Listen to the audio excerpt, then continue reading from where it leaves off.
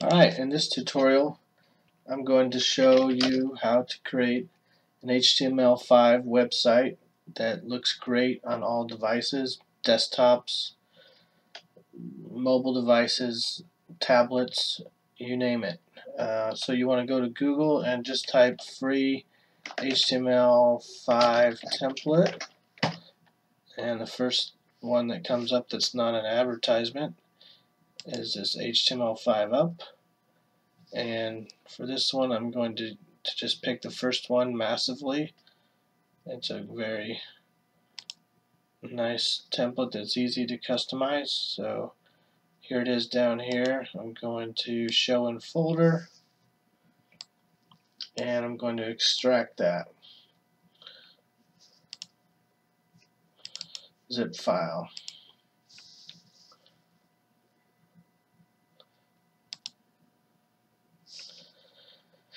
Okay, so what it looks like is that right there. You've got your got three files. There's three page. This is a three-page template. You've got a, folder where the images are, and some folders where you probably don't need to get into unless you're really going to do something advanced. So I'm going to go ahead and open this up and there you can see it. It's got a background with a some sort of a gradient and then several images and descriptions contact form very nice looking template that you can if you don't don't want don't want this pagination down here I think that's for a blog you can just take I'll show you how to take that out and uh, I'm going to show you how to just add edit the images.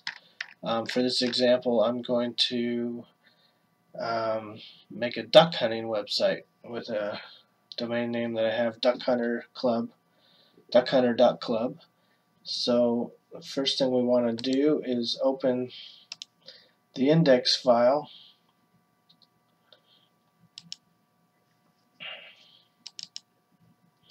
In whatever text editor you use. Um, and that's what it looks like right there. I'm going to start by just editing the, the title. That's the, the part that shows up under search engines.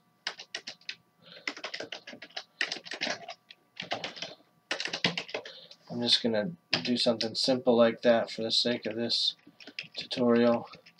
I'm going to change the header duck. Hunter dot club as well.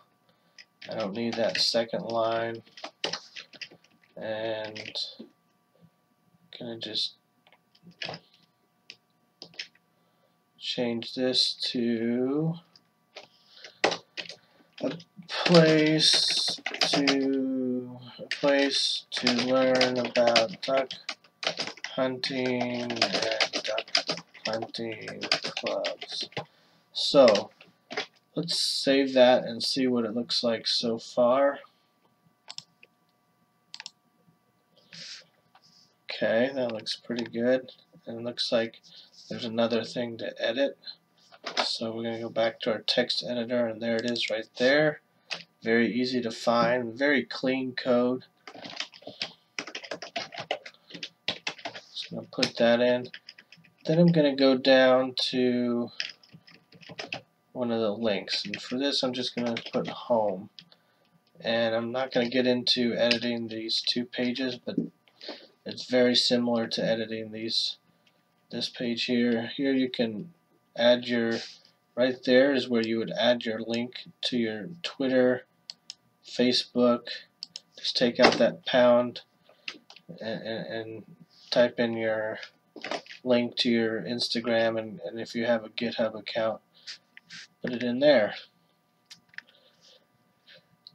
Okay and you can you can change the date you can change the description here. I'm going to show you how to change the pictures. Um, I have uh, a, a, bunch of pictures already ready to go. Um, so uh, going to show you just how to edit uh, that's what you would do if you you have a, a file in your image folder with that name which I do.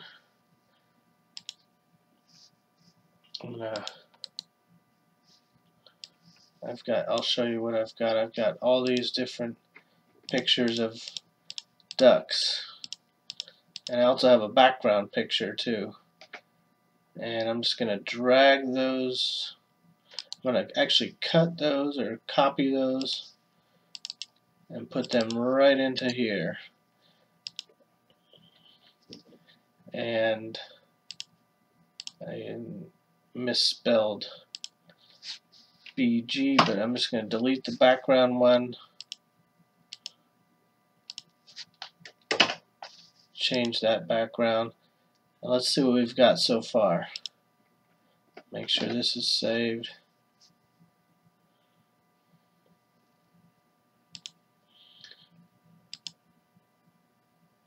There it is. There's our background. Kind of a stormy, a lot of duck hunters hunt in the storm like that. And there's the first picture I've got.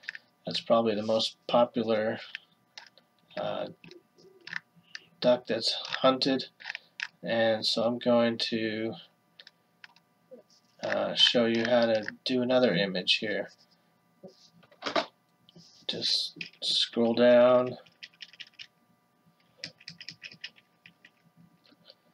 There's pick 02. I'm going to put teal there.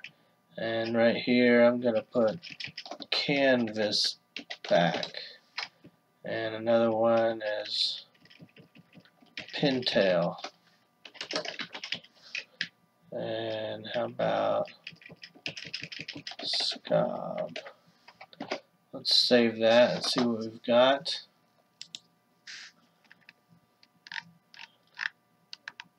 Looking pretty good.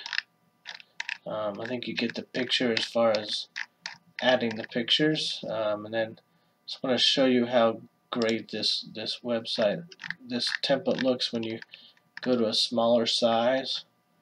It resizes very nicely. And let's go to maybe a, a phone or a, a smartphone, an iPhone. Look at that. You've got your menu here. These two pages are just as easy to edit as this one. Looks very nice, doesn't it? So, if you have any questions, please post them in the comments. But um, this is by far the easiest way to get up and running.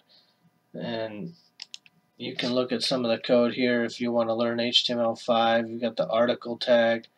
You've got a header tag, which you can use as many times as you want within the article tag and they, there's a date and a, a, you know a title for that picture and then a description down here.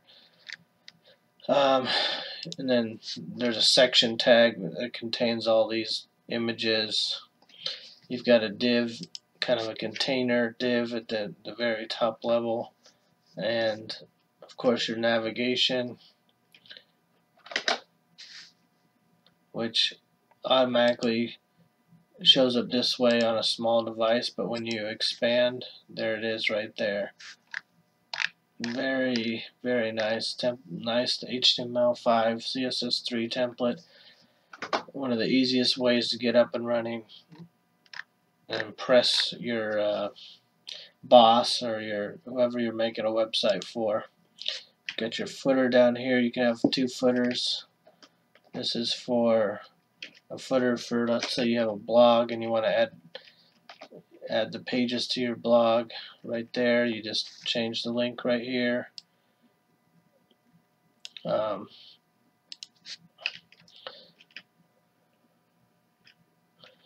you put in your contact information. Um, creating a form is a little bit beyond the scope of this tutorial here, but if you wanted to have a form, you just change your information, put your actually that's all all ready to go you just would change the action here to something to a script that processes that information and sends an email confirmation out. And then, of course, just another section down here with your address if you want to put that, and another section for your social icons. And again, you just edit the links right here where that pound pound sign is. And that's pretty much it. You could put your copyright down here if you wanted to remove this link that um, gives them credit you could do that but I like to leave that in there if I can um, sometimes it's nice to give them credit for all the hard work they did but you can you can take that out too if you want. Um, let's go ahead and save that. And that's pretty much the end of this tutorial. And please leave uh, me a comment or a question if you have any. Um, the purpose of this tutorial is just to show you how easy it is to get up and running with HTML5 some of the, the other videos on here are about an hour long or two hours long and it and they go through all the details of HTML5, but sometimes it's also nice to just learn, learn by example and to get something up and running in, in a short period of time. And you do a number of these and, and you'll start to get the hang of it. Thank you for watching, and that's all for now.